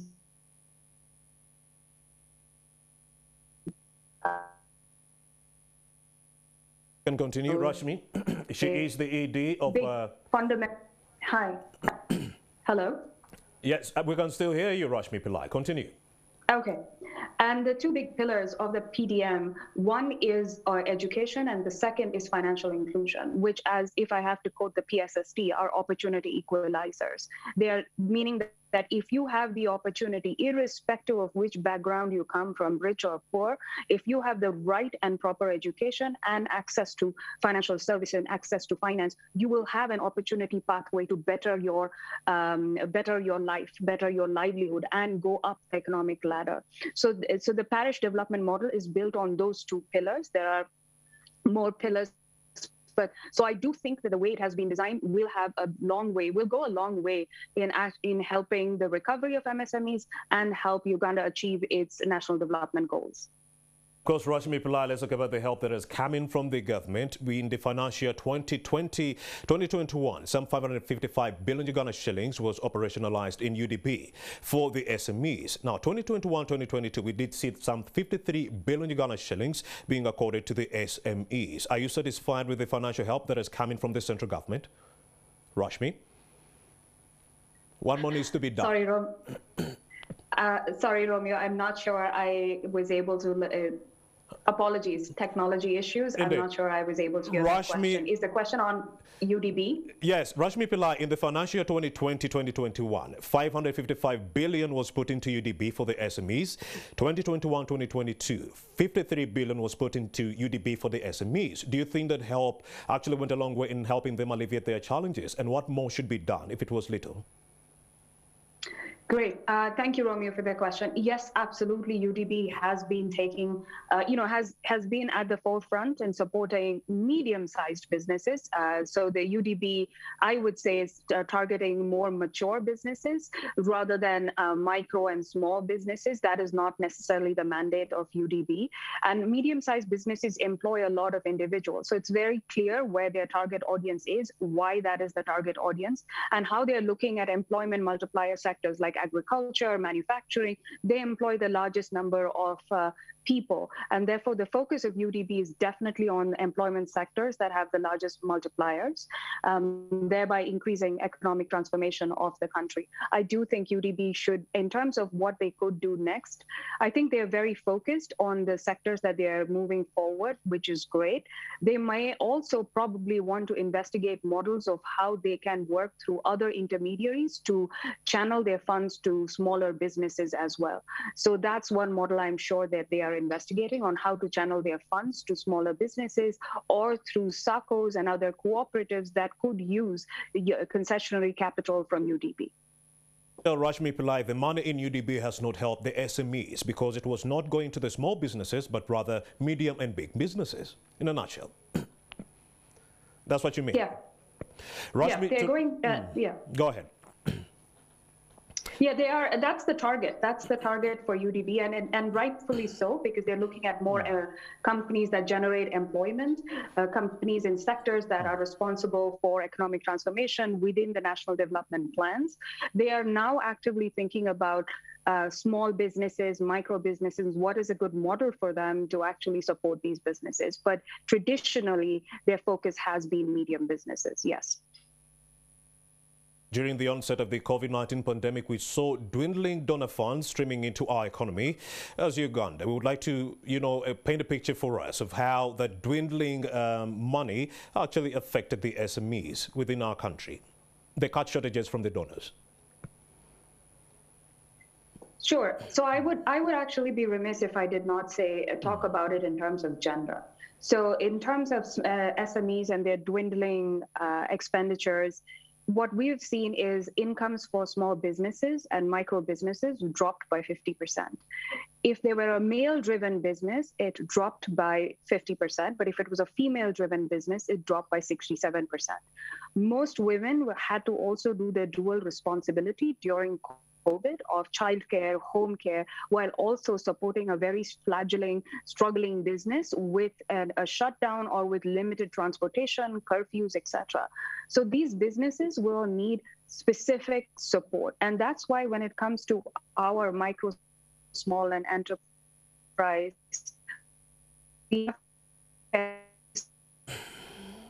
that 40% of the focus should be on women led or women operated businesses. And, and that's one of our uh, key focus area. The other area that had the other demographic that was really badly hit is young people, young people running their businesses. Already, you're, you know, it's an early stage business. If you're a young person, you have challenges around access to finance. And then you suddenly have shutdowns and lockdowns. You don't, and you're struggling with all of that because you don't have enough savings, buffers, or even social capital to help um, restart your business. So that's another demographic that our fund will focus on and has a big target to focus on. That is Rashmi Pillai, the ED of a financial sector deepening Uganda. Now, from the investigations you've been mounting and from your perspective as financial sector deepening Uganda, what could be done to alleviate most of the challenges we've highlighted during the last 20 to 30 minutes or so, so that the SMEs can actually thrive within this country? Rashmi Pillai, recommendations. Great. So in conclusion, Romeo, I think uh, A, very targeted access to finance for different uh, segments, so micro, small, and medium businesses will go a long way. Second, restructuring some of the existing loans, so uh, especially you know of companies that are reasonably doing well and we know are on the path to recovery. Uh, number three, uh, partnering with capacity building organizations and skill building organizations, particularly for micro and small businesses. Um, and uh, lastly, making it easy for them for all types of businesses to access these various funds that have been set up by the government and private sector will go a long way in their recovery. That is Rashmi Pillai. Thank you so much for having made the time to speak to us right here on Morning at NTV. Thank, Thank you. you so Thank you, Romeo. Thank you. Indeed. She is the Executive Director for Financial Sector Deepening Uganda. Still in the uh, sphere of business, we also do know that the Russian ruble has actually tumbled over 30% as a result of their invasion within Ukraine. That is the latest information coming in right here on Morning at NTV, and that is largely hinged on the sanctions that have befallen the Russian territory as a result of the Ukrainian invasion that has also seen 4,300 of the Russian troops killed since that is February 24th of last week. We also do know that 198 people have died within Ukraine, three of whom were civilians. President Volodymyr Zelensky is telling us that the Russians are not actually leaving any stone unturned. They're bombing kindergartens, they're bombing residential buildings, they're bombing anything that is in sight and anything that is moving in that regard. But what we do know from the international international scene is that Russia um, is not actually going to be let, you know, uh, is, is not going to be allowed to actually orchestrate all these heinous uh, orchestrations on the whole global stage. France is sending help, Germany is sending help, Denmark is sending help, Sweden is sending help. We also do know that the United Kingdom is also going to be sending help. NATO is readying their, you know, rapid response team to actually enter Ukraine and alleviate the situation. For now, there is no truce, but rather a ground invasion that is halted at the hands of the Russians over ideological issues like fuel. We'll be right back.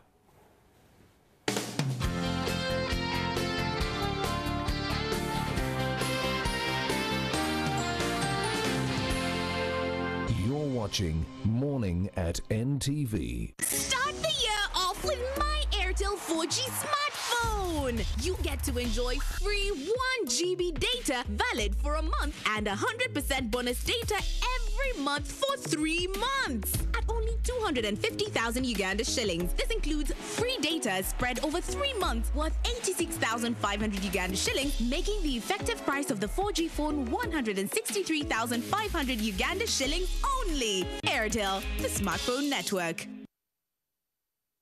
Are you a parent that wants to keep your children educatively engaged? Let's play and learn. Hear the aeroplane. Mmm. It's time for learning is fun. Wheels on the bus go round and round, round and round. With innovative and interesting lessons. It's one and zero. Have the kids aged 3 to 6 watch Learning is Fun every Saturday and Sunday, 8 a.m. on NTV. There's a new look to beauty, elegance, freedom, style. Now available in the new look of the Radiant Hair Relaxer with herbal extracts and no base formula. Designed to make your hair look straight and elegant as you look beautiful and in control.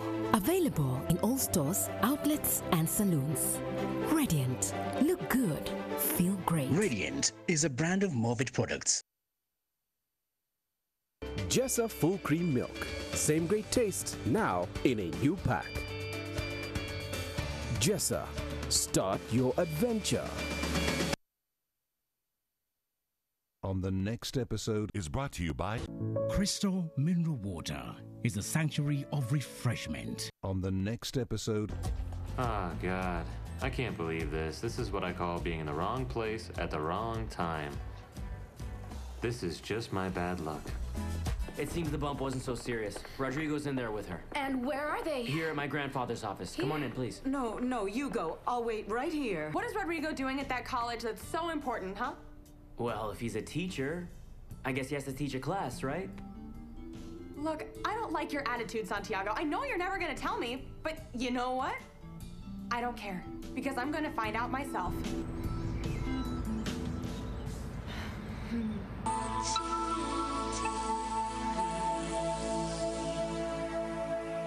Crystal Mineral Water is a sanctuary of refreshment. The quality of each crystal bottle is stringently verified. The Energy Moment is brought to you by the Ministry of Energy and Mineral Development in partnership with the GIZ promotion of renewable energy and energy efficiency program. Save energy by selectively removing some of the lights where lighting levels exceed established standards or where this will not reduce the quality of the light output for its intended purpose. Although energy efficient products have a high initial cost, your electricity bills reduce forever and you recover your investment eventually. The Energy Moment is brought to you by the Ministry of Energy and Mineral Development in partnership with the GIZ promotion of renewable energy and energy efficiency program.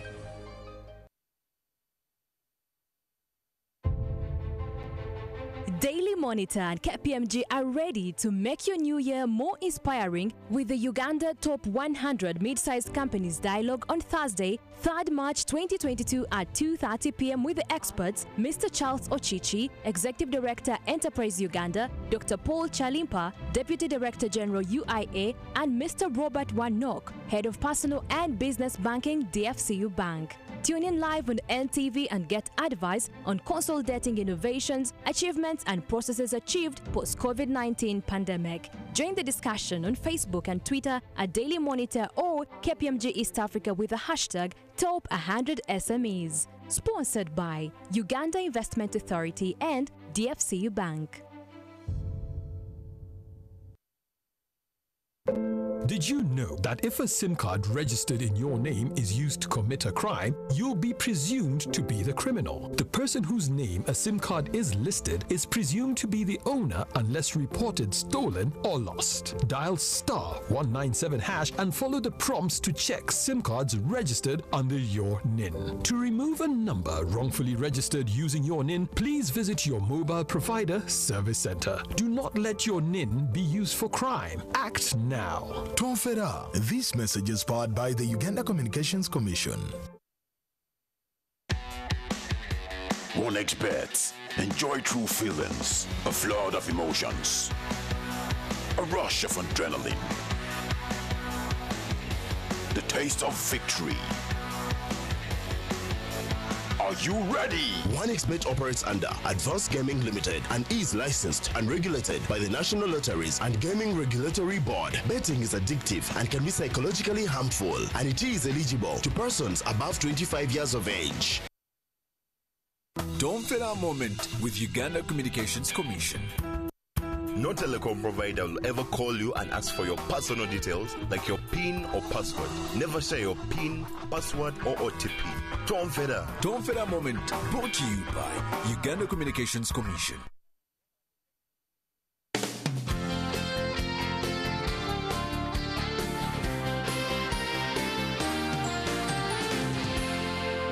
You're watching Morning at NTV.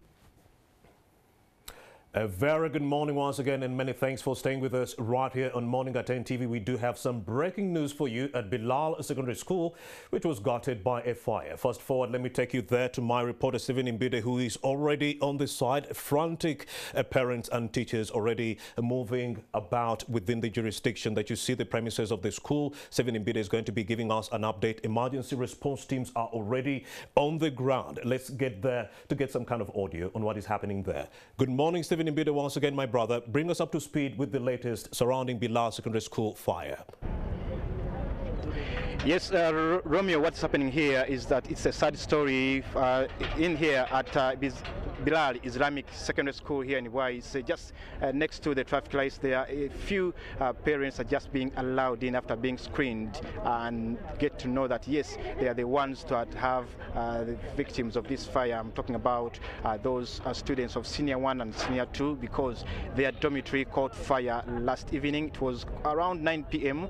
when the students were in the we were in the classroom for the night preps and this is a story that I'm getting uh, to the detail here that no student was injured at least by going by the accounts of uh, some of the students and of course these students I'm getting to are the ones who are uh, day, school, day scholars because the, the boarding scholars are not allowed anywhere close to this gate and that's why uh, the police is mounting here their, their detail here is here just to make sure that no parents uh, who are not having students in senior one or senior two allowed to check on the stu their students. Uh, the police here, you see, is uh, trying to ascertain the cause of the fire, but many parents are here still denied entry. ngenda kwogerako n'abazadde bano kubanga bo bawulidde omuliro guno okuva eggulo sanga ssatu ne baddukirawo abamu basuze wano abamu bakedde wano kubanga bamanya ebikwata baana bwabwe naye nga poliisi n'abakulira essomero lino bakyabagaanya okuba nga bayingira kanjogereko n'omukyalo ono maama gwani amanya nze nalubega sara olina omuyizi wano? Esebo kizita abdusalaamu siniyatto wa kisulo. Wategedde dde nti wano waguddewo enjega y'omuliro? Zabadde nga saawa satu n'ekitundu oba. Naye twazze nga tulaba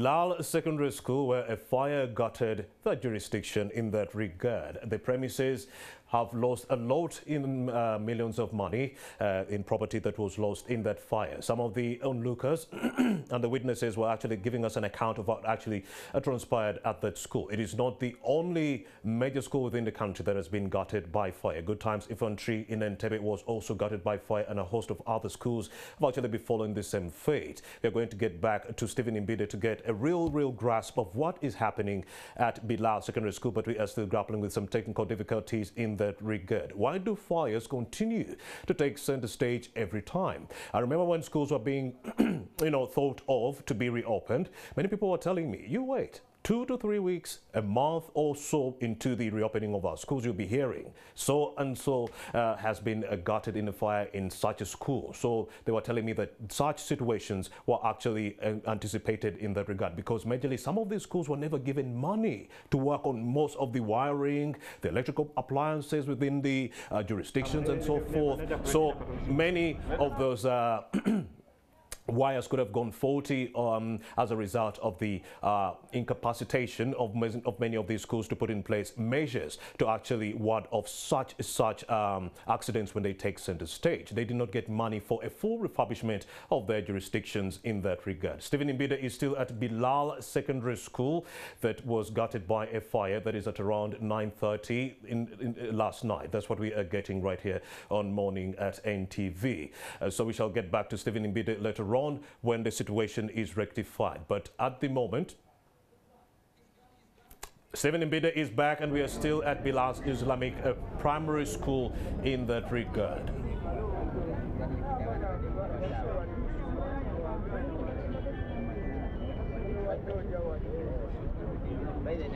All right, that is, uh, of course, the Bilal Islamic Primary School side, and we are still at the section of the secondary school where uh, many of uh, the parents here are still being denied entry into the school because uh, police and the authorities here of uh, the school are trying to establish the actual cause of the fire and the extent to which this fire, this inferno, uh, left the school.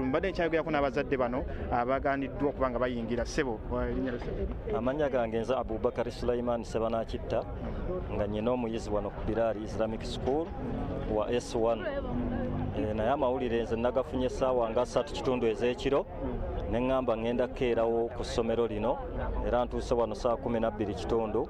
Nzije ndaba ekifo wano nsanze bazadde bannange batuuse dda nga n'abapoliisi abatonotono we bali naye ne batugaana okuyingira ne batugamba balinda dpc dpc bw'atuuse kati basazeewo nti bagenda kuggula geeti ng'abantu kumi kumi be bayingira tusobole okubeera nga tulaba ku bazadde ku baana baffe kubanga tewali n'omu yalabye ku mwana we tetumanyi kiri munda eyo katonda yasinga okumanya esebo twebaza ala olwokuba nti tunaba kufuna mbeera yonna yokuba nti waliwo omuyizi yenna eyakoseddwa. Naye nga boolaba emabega wano be bamu ku bazadde n'abamu ku bayizi abasomera mu ssomero lino bakyagaaniddwa okuba nga bayingira kubanga poliisi egezaako n'abakulembeze abakulira essomero lino okulaba nti ddala bayingira be bazadde ate bayingiza nga bawulidde bagambye kumi kumi bokka bokka ne bafuluma olwo ne balyoka bayingiza abalala police uh, with the authorities still trying to establish the cause and extent of the fire. Uh, ngenda kwogerako n'abayizi abasomera wano eno naye nga bo Uh, nabo tebakkiriziddwa kubanga bayingira olwaleero kubanga uh, basoma. Osomera wano? Nze mudiba bafati batuganye naye batugee tukomewo ku lwokusatu ye naye ekituufu kiri nti twagala kuyingira kuba tulina ano baganda baffe. Twagala yingira tubalabeko mitima gitereere sebo. Haji sebo wasotya nga mulabye ekyabaguddeko wano eno? Kyaguddewo. Ok maama. Nga olabye nekyaguddewo wano eno? Ndaba ennyo sebo. Omuli bakasanzeewo mbadde eyo waffe kangulumira nempulira nempulira nga bagamba essomero lya biraali likoze ekiriyidde nensalawo okujja ndaba omwana. Kuba omwana mbadde nzija mutwala mu ddwaliro kumulongoosa. Naye ate ndaba nsanze wano eno nga ndaba bagamba essomero lyayidde kwe kuddukirawo amangu nzije. Omwana wo mulwadde omutwala mu ddwaliro okumulongoosa kino kizibu kyakubiri ate nga kyekikulu ennyo. Ogezeza kugulako n'abakulira essomero lino bagambe ekizibu kyolina nekubanga appointment gyolina okutwala omwana ngezezaako bagamba naye bakyaganya okuggulawo kati simanyi wengenda kukola. Kuba simanyi nti oba omwana ali sitede njagala kumulabako naye binsobedde. Erinnya lyo nyama. Nze nalukenge shamira kyagaba. Ah, gwe osomera wano naawe Essomero. gwana manya gange mutibwa dumba sharifu kakati ah, babaganya okuyingira okusoma olwaleero? Batuganya okuyingira. Tugambye bagenda mumala ennaku bbiri nga tetusoma wano tugenda kudda lwakusatu ndowooza ba- bagenda bba bali- mu kunoonyereza oba omuliro balabe gwavudde ku ki? Bana ffe tetumanyi kwe gwavudde bibuzaabuza. Wawuliriza ku banno kye bagamba bali munda b'ekisulo omunda badde siina ge naawulidde kuba nabo bagamba abamu tebabaddeyo babadde mu gundi babadde mu kiraasi ezi nga basoma muliro gwakwatidde tebabaddemu these are some of the students and the parents here at the Bilal Islamic uh, Secondary School, uh, of course next to Bilal Islamic Primary School here in Bwaise, just a few meters from the traffic lights of Bwaise. Uh, this school uh, reportedly, uh, the dormitory of senior one and senior two students caught fire around 9 p.m. Uh, when the students were in a lecture uh, for the evening Sunday preps. Uh, but here, uh, police is trying to ascertain the cause and extent of the damage uh, together with the authorities. They are just allowing in a few uh, parents, just a, two, a count of 10, then they get out and then uh, allowing others. This is just because they are trying to control the crowds inside and give space to those who are investigating as well as uh, those who are on the, on, on the work of. Let me speak to one of the authorities of this school, is trying to, uh, who is also uh, the, the mayor of Kawempe division, uh, Emmanuel Serunjogi Owedembe, is trying to, is inside and trying to speak to some journalists here. Let me go get closer. nga eh, zonna zaguddemu wansi. Akabonero akalaga nti omuliro gwabadde mungi. Tusaasira abantu bonna. Naye ekirungi wali tewali n'omu yafunye. Tukkiriziganyizza abaana bagira babatwala eka abazadde bonna omuzadde atwale omwana we buli muzadde atwale omwana we okumala ennaku entonotono tutuule ne security tulabe entegeka engeri gye- gyeneddamu ate n'abaana balina okuddamu okusoma. Twagala abaleme kutataaganyizibwa mu kusoma kwabwe naye ate olw'okutya okuliwo eri abazadde n'abaana trauma eri gye bafunye tugamba baddeko eka baveeyo oluvannyuma bajje basome. Tugenda kubeera security meeting ku ssaawa ttaano wano tusalewo ekyenkomeredde. Naye nga poliisi ekyanoonyereza erabe omuliro gwavudde ku ki? Naye ng'obukulembeze bwe kawempe tulumirwa wamu n'essomero naye ate nga tutandise okwebuuza ebibuuzo bingi. Lwaki omuliro guzzeemu? Ate ng'ebyaliwo byandiba nga biringa ebizzeemu ebyaliwo ku mulundi guli. Omuliro nga gwoki manya bisi naye afuna omuliro gwa mirundi ena mu divisioni yange kati. Amasomero kati ga- gaagano gali abiri eryawali abaana new crest abaana baafa ate bw'otunula wano just kinyana mpindi ekibanda kye- kye- kye- kyembaawo kyakutte omuliro ate wali mu mbakere eyokusatu ate era omuliro gwagi gwayaseewo. So tutandise okwebuuza kiki meeya okutwalira wamu mwafuna mwafunyeko ku lipooti zonna ku muliro guzze gubeerawo mu kaseera kano konna. Tubadde tunaba kufuna ripooti era tuzibanja naddala ogwasooka gwali gwa makeretheri tugibanja ogw'essomero lya new crest abaana bana baafa tukyagibanja ate era na, na guno gwonna tukyagubanja. Naye ffe ngaabukulembeze tugenda kuteekawo entegeka twagala abazadde n'abasomesa ba- ba- ba- ba- bakkiriziganye naffe nti tewagenda kubeerawo ssomero mu kawempe eritalina security cameras kyekisooka abanzadde basobole okubeera abagumu. Tewagenda kubaawo ssomero lisuza abaana nga teririna uh, installation y'amasannyalaze tugenda kugiddamu buto buli ssomero buli ssomero ebisulo ne we basomera. Amasanyalaze gaddemu gakeberebwe engineer wa division ateekeddwa okugenda okukebera buli masanyalaze buli ssomero nti installation y'amasanyalaze yeyo ekkirizibwa mu mateeka. Ebyo ebintu ebibiri bwe tubikola tukoze ku security tukoze ne ku installation y'amasanyalaze tusuubira tujja kuba tulina kye tuziyiza ekyo. Meya nziriramuko ku biki ebiyidde extent yabiyiddeawo ya extent ya ey'omuliro ah, emifaliso gy'abaana gyonna aba s1 n'aba s2 giweddewo. Bokisi zaabwe zonna ebintu byo- e- e- ebya- ebitabo byabwe byonna ebisinga kubanga omwana bw'aba agenda mu purepo agenda na kitabo ekyo kyagenda okusomesaako ebitabo byonna boxes zonna ziweddewo ebitanda byonna biweddewo luufs zonna zaguddemu abaana bonna ebintu byonna ne biggwawo meya okusinziira nga gwayingiddeko munda oyogedde ku nsonga y'amasanyalaze kuba nti esinza okuvaako omuliro okutwalira wamu. Ekifaananyi kyolabye munda olowooza omuliro guno gwafudde kukinga ku omukulembeze? Ya okusinziira ku kyendaba. Sina- sinaba kubeera mu kiseera kigamba nti omuliro gwavudde kuno kuba ffenna ku mirundi gyonna egibadde gizza. Emiriro gijja era mirundi ebiri. Okwokerera oba okuba nga gwasi- gwatandikidde mu kizimbe. Okutandikira mu kizimbe okubeera nga oba omuntu yaleseewo ettaala oba omuntu yaleseewo oba amasanyalaze gategekebwa bubi ebyo ebintu bibiri. So tukakasa nti bye bigenda okunoonyerezebwako. Omuliro gwavudde ku ki? Kati bwe kubanga ffe olwokubanga obukulembeze bwa division twagala okwetanga tugamba twagala tubeere sure tubeere beekakafu ku buli ssomero erisuza abaana. Akasembayo meya mu divisioni gyotwala emotoka zino ezikiriza omuliro ziri mu meka era zi- zikiriza omuliro guno guba gukutte.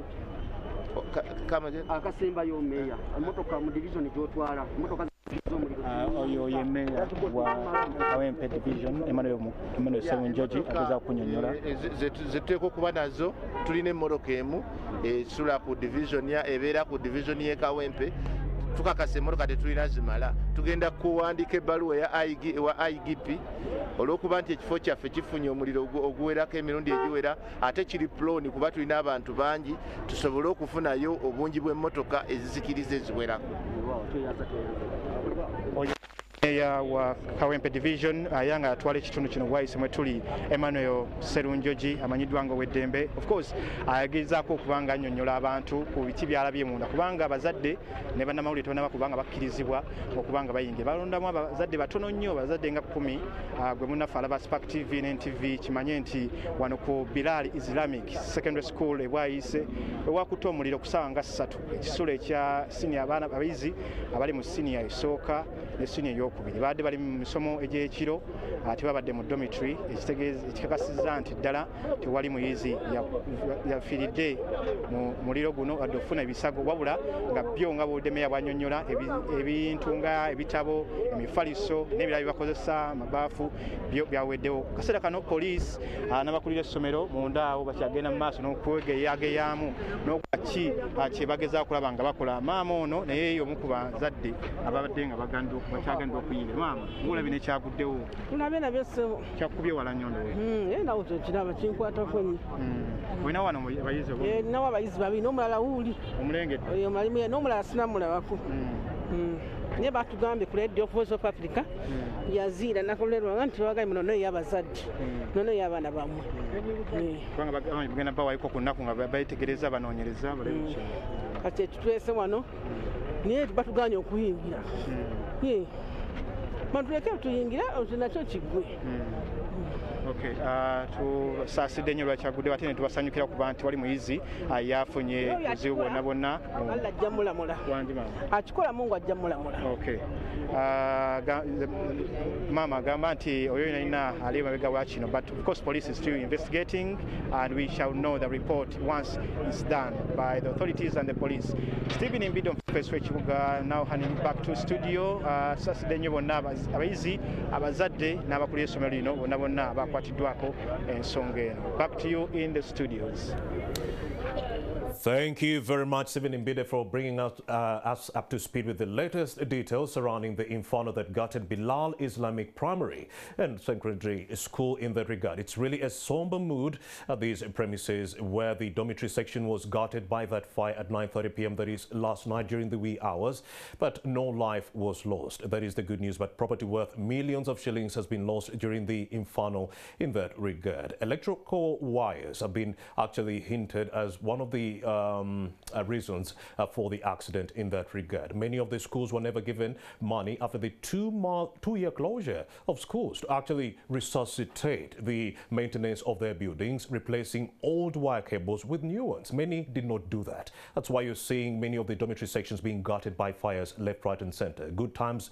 Infant School in Kawala also saw one learner being killed during an inferno. We shall keep tabs on those stories to bring you more details in our subsequent uh, news platforms in that regard. That is NTV at 1 Akawungezi and also NTV Tonight. For now, that's it for this edition of Morning at NTV. Russia and Ukraine invasion is still on. It's only a halted ground uh, offensive in that regard. They did not call for a truce. We also do know that 4,300 Russians are so far dead. 198 Ukrainians are also dead. 64 of whom are civilians, three of whom are children. Have yourselves a blessed morning. Let's encounter tomorrow same time.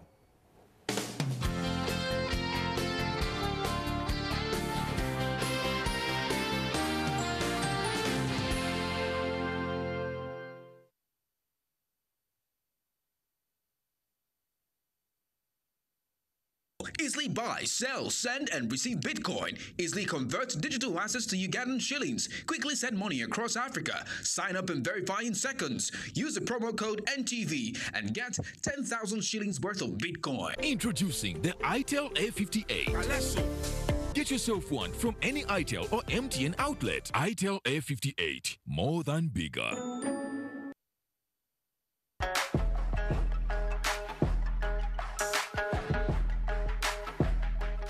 Right, thank you for being back here. We are still continuing with our conversation. Earlier on, we were talking about telltale signs of using, a, um, you know, transitioning our children from using diapers, how to know that they are ready, and there was so much to learn. So if you haven't watched that episode, first start there, then you you come back to this one. So let's go to when a parent should worry, because I think there are some parents who stretch this thing to, uh, they will learn eventually. At what age? Or at what point should a parent worry that maybe they need help or that the method they're employing is not working? If your child is has absolutely no control and they can't tell that they've peed or they've pooped, like they, you know, there's there's yeah, What does they- that mean? They it's just a go- medical they problem just go along now. their yes, it's now a referring medical problem. They don't have control over that muscle. If your child can communicate, and let's say they've learned poo and pee, and they are not doing it, they, it's probably defi- I don't know. I don't want to say it's defiance. But there's something wrong with how you're doing it, and yeah, um, there's a problem. Another thing that I found helped me so much was the praise. You have to heap praise. You have to sing. I got the entire household to do a song and dance. When he actually managed to go, it was like a full production. So it had to be a whole thing, and he got so into it. And then, then there was the, the, the reward after things went well. And let me tell you about men. Uh, uh, boys, actually, Tell it's us, something I know us, between boys us, and men. tell us. A woman, you the mother, you can tell a boy something 20 times, he will not do it. Yeah, that's true. Random border guy just stands up to pee in the bush. Your son will do He it. will do the same thing. Immediately. And me, that's what happened to Teja. The gatekeeper just went, actually, I think the gatekeeper potty trained my kid. The gatekeeper would just go, there was a calatrin, and then he, you know, he would just enter, he wouldn't close the whatever. And if I found my son Bernard, who could have fallen in a thing. In a someone you're insisting, you go on the potty, do on the thing. No, I found him peeing then, the latrine. Wow. Yeah. Yeah, and he was like just over two years Yeah, maybe. yeah. And he would Because he had seen a because man he had do seen it. a man do it, and he knows that that person is like, like me. me. This woman who is no, no, that's not saying? That, that, no, no, no, it's not saying? getting. So Yeah. yeah, again, as you do single women, single moms, put your children in the company of men around just to, you teach them the basics, the foundation, and then let them, let, let them see how their fellow gender. Yes, that's true. yeah, that's true.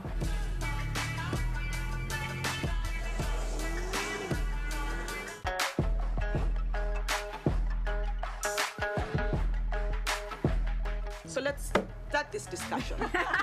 Start what there. really is the reason for the increasing number of single mothers in Uganda today? Wow. When you say what is the reason, What are your views on there are many, like there are quite a number. Hmm. But I'll start with one that I feel like is the, like for me, it's what I've seen with the, the, the people that I see around me.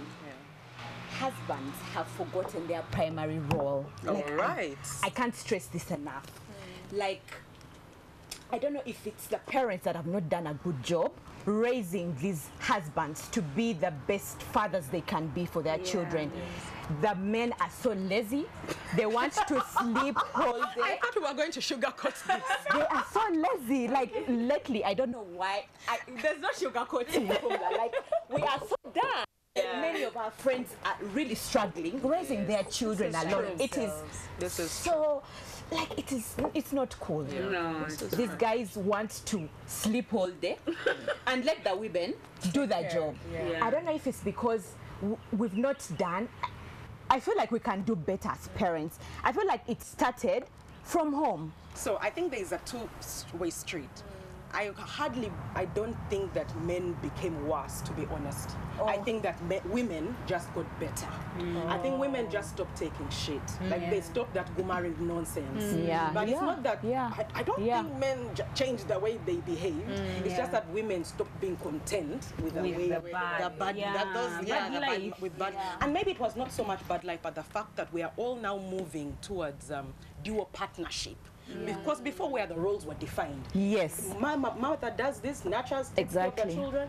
Father, provides, Yes. usually financially. The reason my heart goes out to single moms, especially when I hear from them that they are tired emotionally, physically, and, and financially, is that even me in my home where I know I have support, I get tired, you know? And so I can imagine a mom, you know, you've gotten back home, you have to work, please not, to make ends meet because there's no support coming in. And then raise And your then you have to raise your children, be a good parent. Some of them are just going through a heartbreak, which is something we can talk about on another day. Yeah. Because parenting while going through a heartbreak is a It's whole other dynamic. yeah. Yeah. You know, and having to go through all of that stuff without support, I can't I can't imagine it. And so my heart breaks for single moms in, in mm. Parenting is hard work.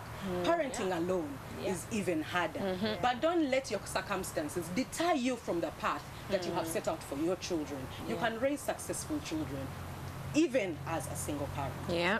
When we come back, Mm. we are going to be speaking to a lady who lost her husband and inadvertently was forced to raise four children her by herself. Yeah. You don't want to miss this. Nope. Until next time, with love from Bump Love.